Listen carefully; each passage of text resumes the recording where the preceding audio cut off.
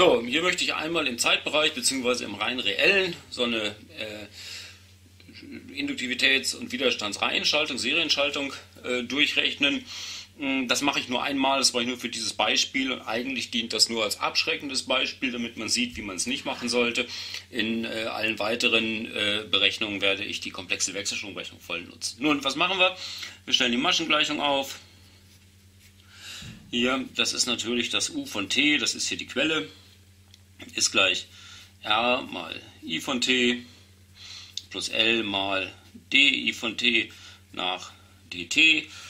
Naja, und dann setzen wir an, nehmen an, naja, sagen wir mal Ansatz, ist das Richtigere, dass äh, unser i von t, ja, wir fangen genau damit an, weil das nämlich auf der rechten Seite steht und differenziert werden muss. Das ist einfacher, anders wäre es noch schwieriger. Das ist irgendwie Spitzenwert von i mal Cosinus Omega t. Na, und wenn wir jetzt einsetzen, dann kriegen wir u von t ist gleich r mal i Dach mal Cosinus Omega t plus Omega mal L mal Sinus Omega t und die Ableitung von Cosinus ist der Minus Sinus, also ist es hier Minus. Na gut, und das soll jetzt natürlich irgendetwas sein ähm, von der Form U Dach mal Cosinus Omega t plus Phi, weil das der Phasenwinkel ist. So, man hätte das auch anders ansetzen können mit Sinus und Cosinus und so, aber dann kriegt man nie diese Spitzenwert raus. Das ist der, der uns interessiert und man kriegt hier auch sonst nicht die Phase raus. So, das muss immer gelten.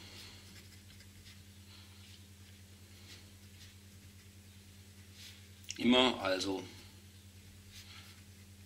für alle t gelten. Also können wir uns auch ein paar Zeiten raussuchen, die uns halt wirklich interessieren. Nehmen wir mal erst einmal der Einfachheit halber, ähm, können wir zwar nicht richtig mit weiterrechnen, aber nehmen wir einfach mal t gleich 0. Nur damit man das Prinzip sieht. So, setzen wir hier oben ein, dann haben wir r mal i Dach, okay. Und ähm, das da wird sowieso 0 und das ist gleich u Dach mal Cosinus von Phi. Ja, dummerweise haben wir auf der rechten Seite unsere beiden Unbekannten noch stehen und nicht eine isoliert gekriegt. Hm, ärgerlich. Was wir aber auch machen könnten, wir könnten hier nehmen das ähm, Omega t gleich, äh, greifen wir mal den, ja, dann wird es nämlich 0, hm, greifen wir mal raus, Pi halbe minus Phi. So, wenn wir das hier auf der rechten Seite nämlich einsetzen, dann haben wir hier U Dach mal Cosinus Pi halbe minus Phi plus Phi. Naja, und das Ganze hier, da äh, ist natürlich Pi halbe und bei Pi halbe ist der Cosinus 0, also kommt da 0 raus. So, dann können wir hier weitermachen mit R mal I Dach mal, jetzt kommt die linke Seite, hm, Cosinus Pi halbe minus Phi minus Omega mal L mal Sinus Pi halbe minus Phi. So, dass das gleich 0 ist, wissen wir schon, muss ich nie nochmal hinschreiben. Ähm, wie vereinfachen wir das? Hm, ja, wir sehen zu, dass wir die Pi halbes loswerden und dann ist das äquivalent mit R mal I Dach mal, so hier laufen wir ähm, rückwärts, die Cosinus von Pi halbe, das ist also der Sinus Phi, ähm, Omega mal L mal, überall kommt hier I Dach noch rein, das habe ich überall da schon vergessen. Und das habe ich hier vergessen, mal I Dach mal der Sinus von Pi halbe, da laufen wir den Berg wieder runter, ist also der Cosinus Phi und da kommt das Minuszeichen dazwischen noch. Das hat, Vorzeichen hat sich nicht geändert, deswegen schreibe ich das letztes hin. Und dann ist das gleich 0. Und wenn wir davon ausgehen, dass i Dach ungleich 0 ist, dann dürfen wir dadurch auch dividieren. Wenn i Dach gleich 0 wäre, wäre es eh uninteressant, dann brauchen wir gar nicht weiterrechnen. Also ist das eine vernünftige Annahme. Und dann können wir auflösen, dass Sinus Phi durch Cosinus Phi gleich Tangens Phi ist gleich Omega mal L durch R oder eben A Cos Phi gleich A Cos Tangens von Omega L durch R. So, den haben wir schon mal bestimmt. Hm, jetzt brauchen wir noch den anderen. Da machen wir hier mal weiter.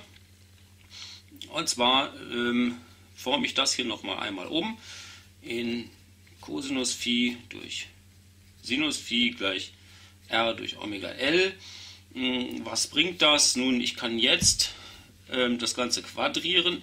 Dann steht hier Cosinus Quadrat Phi durch das unten Sinus Quadrat Phi, das ist aber 1 minus Cosinus Quadrat Phi und das ist gleich r Quadrat durch Omega L und das beides zum Quadrat und das kann ich jetzt auflösen nach Cosinus Phi Quadrat ist gleich r Quadrat durch Omega Quadrat L Quadrat mm, minus r Quadrat durch Omega Quadrat L Quadrat mal Cosinus Quadrat Phi.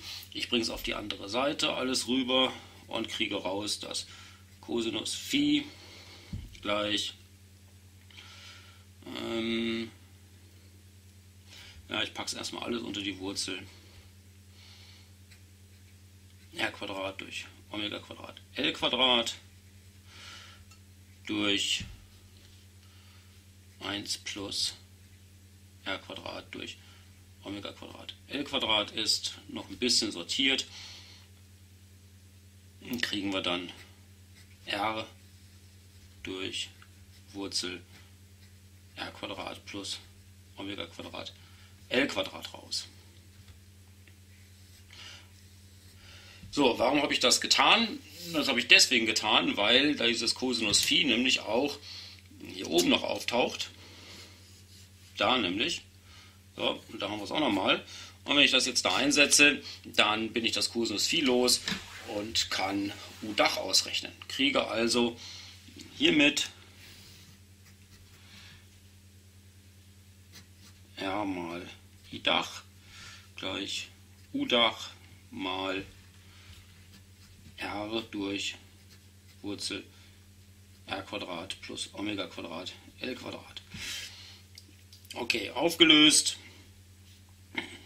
wird es dann, dass entweder i Dach gleich u Dach durch Wurzel r Quadrat plus Omega Quadrat L Quadrat ist oder eben auch u Dach gleich i Dach mal Wurzel.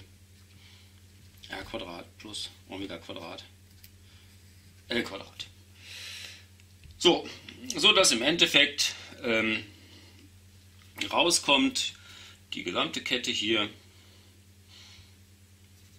U von t ist gleich i Dach mal Wurzel r Quadrat plus Omega Quadrat. L Quadrat mal Cosinus von Omega t plus Arcus Tangens Omega L durch R oder eben I von t ist gleich U Dach durch Wurzel R Quadrat plus Omega Quadrat L Quadrat mal Cosinus von Omega t minus Arcus Tangens Omega L durch R. So, das ist das Endergebnis. Äh, zugegebenermaßen der letzte Schritt hier, der, ähm, den, den, musste man nicht unbedingt tun, der gehört nicht unbedingt zur Rechnung dazu, sondern ist nur die richtige Darstellung des Ergebnisses, mehr nicht. Das, was uns hier vielleicht am meisten interessieren würde, sind die Ergebnisse, die ich hier auch nochmal einbaue, nämlich wie die Spitzenwerte, die Amplituden zueinander stehen hier und wie die Phase ist. Hier. So, diese ganze Geschichte ist sehr aufwendig, sie ist sogar unnötig aufwendig, wie ich eingangs schon sagte. Und besser macht man es mit der komplexen Wechselstromrechnung.